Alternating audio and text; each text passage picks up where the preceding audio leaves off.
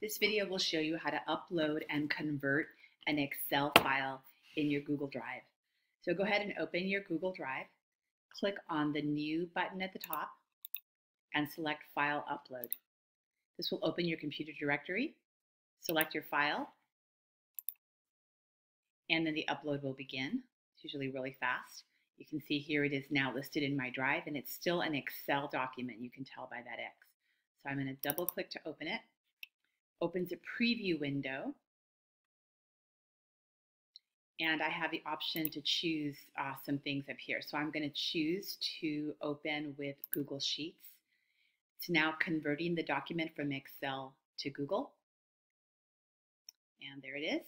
And if we scroll down, you can see um, at the, you can see at the bottom that there are all the sheets that were present in the original Excel file have been duplicated here into um, the Google document.